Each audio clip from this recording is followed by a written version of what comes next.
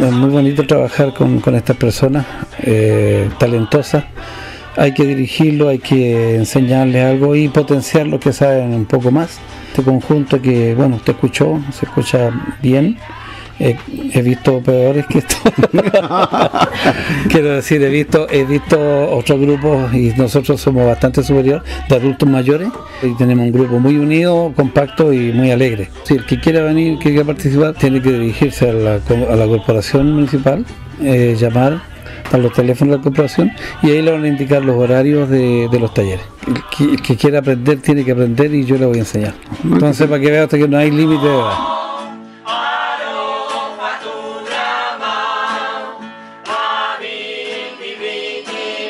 Muchas gracias por preocuparse de nosotros que estamos haciendo un trabajo de, de todo el año y, y de todas las semanas tratando de mejorar y hacer cultura y que aprendan a tocar guitarra en este pueblo tan bonito. Bien, pues, muchas gracias. Serían 3.500.